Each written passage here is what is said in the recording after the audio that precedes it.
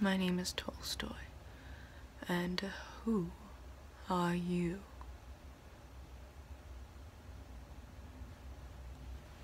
How uninteresting. I'm ashamed that I even asked you in the first place, otherwise, I would have been able to tell you who asked. Now, I am assuming that you have a request for me. Everyone who comes here has a request for me. I am Tolstoy, and Tolstoy knows everything.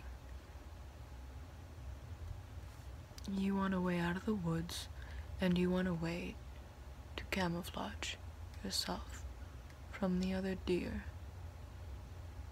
Makes sense. So you're a human. They disguised you pretty well but your sense of culture gives you away. But I will help you. The only question is, what will you help me with? The only thing I ever ask from those that I help are contributions to my library. That way I can further educate myself. Will you be furthering my library's expansion? You can do that by leaving books at the edge of the forest. I will, I will expect compensation, and if compensation is not given to me if I help you, I will find you, and I will hunt you down. Is that understood? Good. So do you need my help, and do you understand the price of receiving my help? That is all I request you keep in mind now.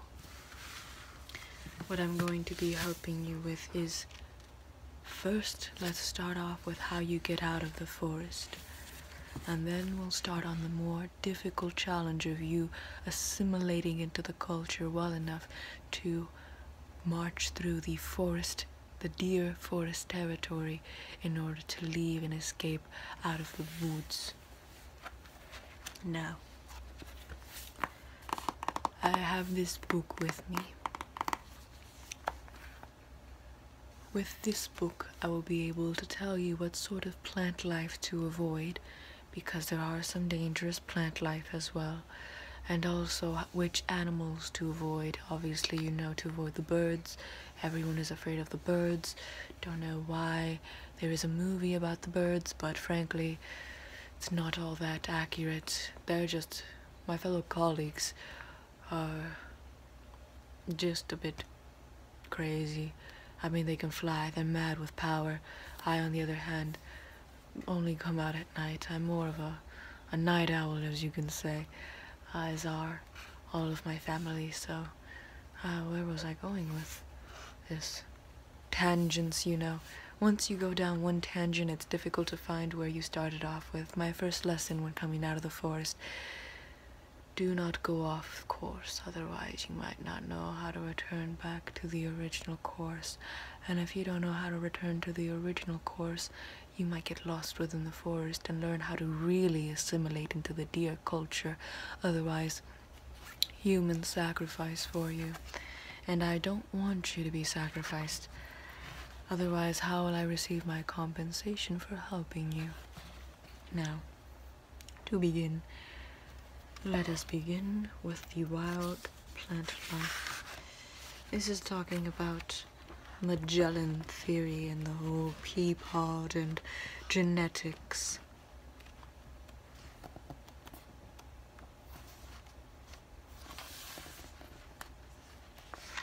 Let's see. I'm trying to find the trees and the flower, all the trees rather, that the deer use as battle fronts, as a way to ambush possible human sacrifices, ignorantly walking through the forest. This tree, for example, though it is only found in the tropics, was designed by the deer life here as a way to more aptly hide themselves away from those wandering and uh, from these little crevices they can hide themselves and they often spring upon those wanderers walking by, avoid these sort of trees. If you see these sort of trees, try and do your best to avoid them. If you end up being caught, you would need to use your powers of assimilation in order to get out of it. Otherwise, you might be sacrificed. Now, to turn on to the next lesson, let's see. Obviously, as it is well known within these sort of pastures, that you see right about here, the deer usually send out a fawn or a doe, and they often send her or it in the middle of this little clearance, this little free space. What you want to do is go nowhere near this. Otherwise, you'll know that this is a trap. Because frankly, whenever human beings see a deer, it is obvious that they try to approach it in order to pet it or whatnot. And uh, when they notice that the deer doesn't run away, that is the time for the other deer surrounding the doe or the fawn ambush the unsuspecting individual. And when they ambush them, they drag them over to their campsite or whatever kingdom they have, or whatever the kingdom the great prince has, rather, because they have no rights. And they sacrifice the human to their great prince who demands retribution for the murder of his mother who was killed by a hunter not by a wanderer, which is what I constantly try to remind the great prince, but frankly the great prince is a great psychopath, so there is no reasoning with psychopaths. Now let's see what else you would need to avoid. Mountains are... If you ever get chased by ideas, always try to go through the mountains. There's plenty of places to hide up there in caves, but just make sure they don't see you going into that cave, otherwise you've basically trapped yourself. Hmm. Let's see what else. There are poison ivy within these woods. I would recommend you stay away from them considering how you are a human being. You know what poison ivy will do to you. But, um, just stay away from that, otherwise the reaction will give you away. Your skin texture will become more evident to the deer life around you, and you would be caught as a human being disguised as a deer. And they will torture you for answers and ask who were the ones to help you. The bunny would be safe, but the deer who helped you would definitely be cannibalized, and uh, you would be sacrificed and then eaten. But uh, that wouldn't be cannibalism, of course. That would just be the deers being carnivorous. That is the only plant life you should really be worried about is the poison ivy. Otherwise, just stay away from places that seem like the deer are e seem like places that deer could easily hide in, and always be wary of deers. They ask you what region you're from, and you ask from Fondlia, named after fawns, of course. Now, if you don't mind, I'm going to be teaching you about the lessons in war and peace.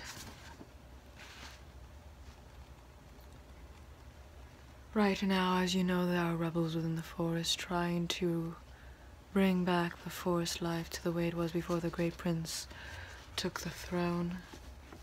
And until then, we will only have war and no peace. I have peace, of course, in my little treetop home, but. And if anyone tries to come into my treetop home, they will know war. But, let's see.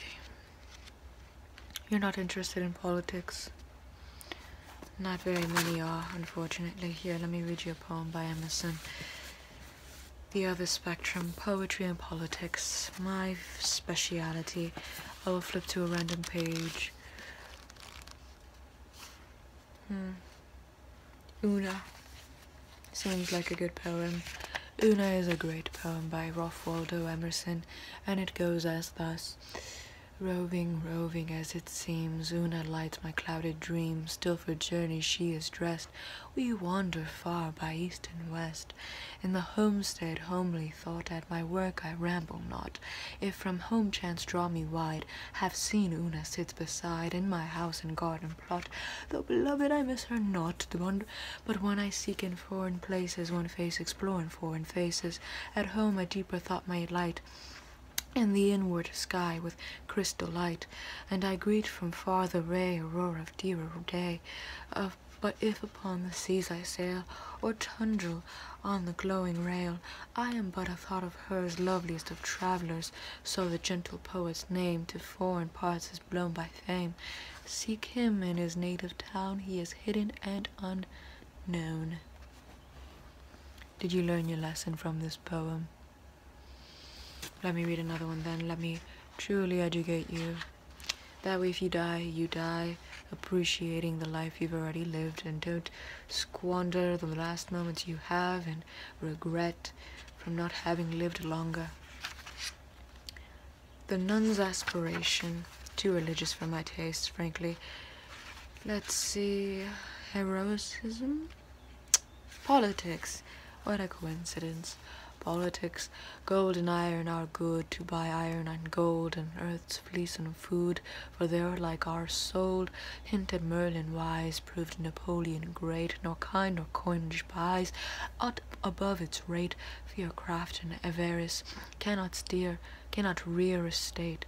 Out of dust to build what is more than dust, what's walls Amphion piled, Phoebe establish must, when the Muses nine with the virtues meet, find to their design an Atlantic seat by green orchard boughs, fended from the heat, where the statesman ploughs furrow for the wheat, when the church is social worth, when the state house is the hearth, then the perfect state is come the republican at home.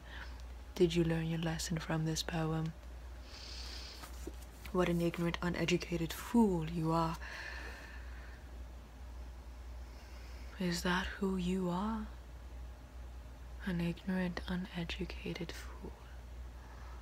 Anyways, to assimilate to the culture, just eat grass every now and again. Tread lightly, you know. Don't put too much weight into your footsteps. And what else do they do?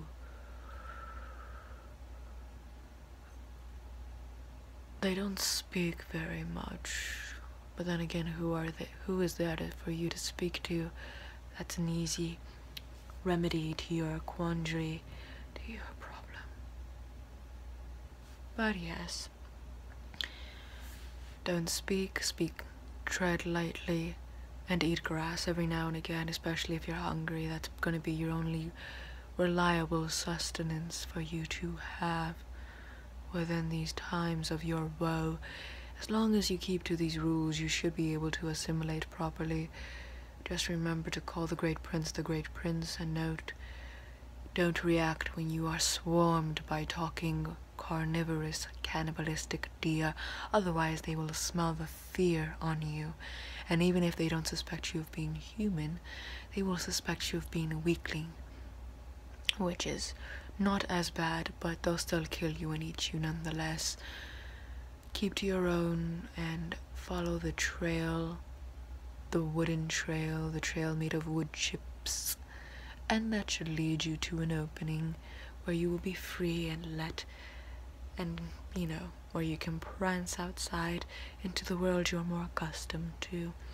And also, once you make it out, if you make it out, don't forget my retribution, no, my compensation to my library. Otherwise, you making it out will be a short lived victory for you. Is that understood? Great.